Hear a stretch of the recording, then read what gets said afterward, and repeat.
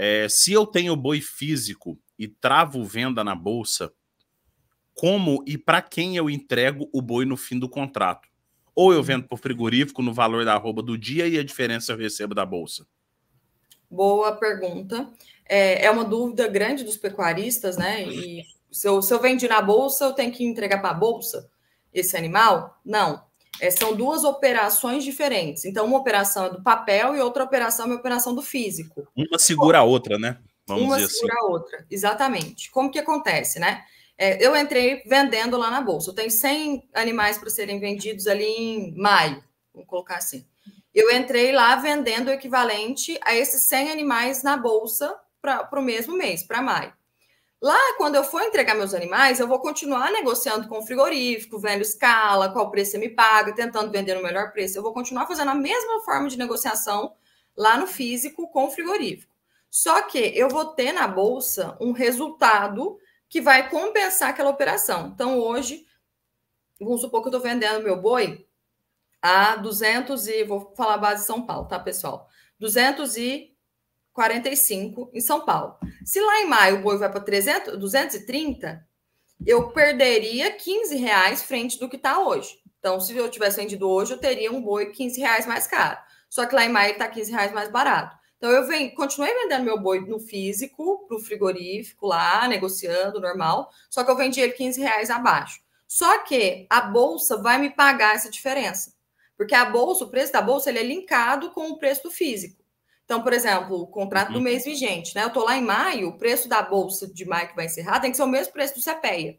Então, certo. tudo bem. Aí tem as correlações lá do que o pessoal tem criticado bastante, isso é outra, outro ponto, né, para a gente discutir, mas é, aí o, o que a, o preço tiver caído, a bolsa vai me pagar. Então, esses 15 reais que você deu, a bolsa vai me pagar. E esse valor que ela me pagou de 15 reais a mais por arroba vai me ajudar para compor meu preço de venda do físico. Então, eu vendi para o frigorífico 230, mas a bolsa me pagou 15. No final das contas, eu tive um preço de 245, que foi o preço que eu negociei de antemão lá na bolsa, o preço que eu resolvi entrar. Então, eu continuo é, vendendo, né? Então, eu, você perguntou, eu vendo para o frigorífico no valor da arroba do dia, sim, e a diferença você recebe da bolsa aí. Olha, o Pedro Rocha perguntando aqui, eu já vou voltar para as perguntas lá de cima. Tem perguntas muito boas aqui. Essa pergunta do Atila eu quero trazer também para explicar um pouco mais sobre seguro na bolsa. Mas essa daqui, é, eu acho que ela traz um pouco mais situação é, de rumores, né? O que, que você fala de rumores, Laura, é, do boi que tende a ficar igual ao mercado de suíno e aves no médio e longo prazo? Pedro, eu não sei em que sentido que foi a sua pergunta, mas o pessoal, assim, é, se não fosse, me corrige aí, tá? Escreve nos comentários para a gente. Mas eu não sei se você está falando no sentido de ficar produzindo só para fornecer para a indústria, né? Porque o pessoal critica muito a cadeia de aves e suínos, que o produtor falam, é, virou granjeiro, né? Será que a pecuária vai virar de granjeiro também? Que o pecuarista vai produzir para entregar só para a indústria, preço que for, etc. É, bom, são é, a, a gente já tem no boi uma ferramenta que tem que ser utilizada, que é a ferramenta de bolsa. Então, é, os suínos e aves, a gente não tem essa ferramenta. Só a existência dessas ferramentas de você conseguir comercializar no livre mercado, digamos assim, já te dá uma, uma abertura muito maior ali para você fazer o seu negócio. Então, isso aí eu já acho que é um ponto muito bom. Só que, por outro lado, eu acredito sim que é uma tendência de centralização da indústria. A gente já está vendo aí os frigoríficos, eles se centralizam basicamente em três grandes, né? É, e eu acho que a tendência é centralizar ainda mais, do ponto de vista da indústria. E da mesma forma, do pecuarista se profissionalizar cada vez mais. E a gente sabe, por exemplo, que quanto mais intensificado é um animal, quanto mais alto o custo dele é, maior a necessidade de venda naquele momento. Então, um boi de coxo, por exemplo, eu não posso deixar, ah, não, não vou vender nesse preço, vou deixar 20 dias a mais. Você vai colocar seu custo lá na altura.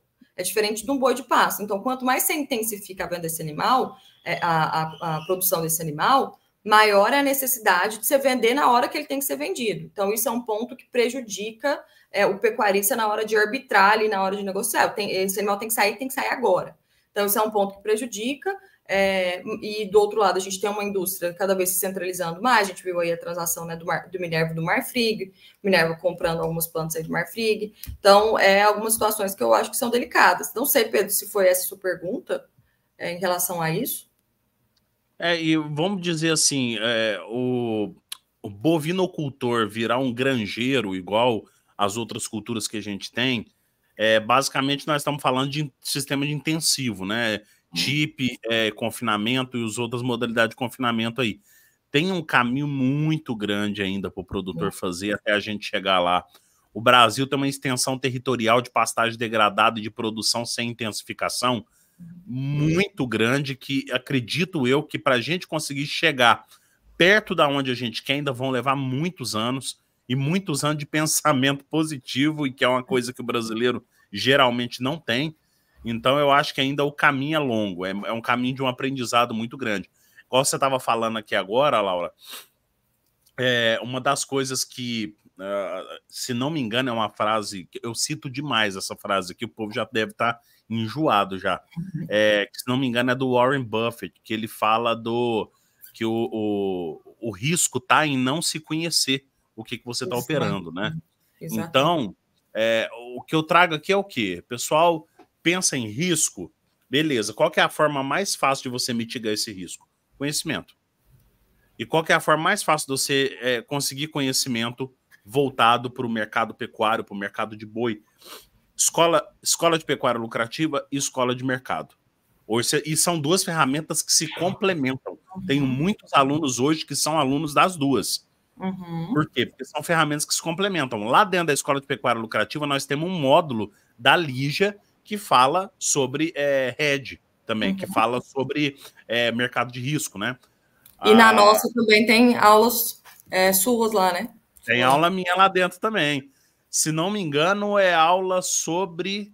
É sobre degradação. É sobre degradação de pastagem, não é? Se não me engano. Se eu não, é. me, engano, se eu não me engano, é, né? É aula sobre degradação de pastagem, sobre práticas, né, para você melhorar essa questão de degradação de pastagem.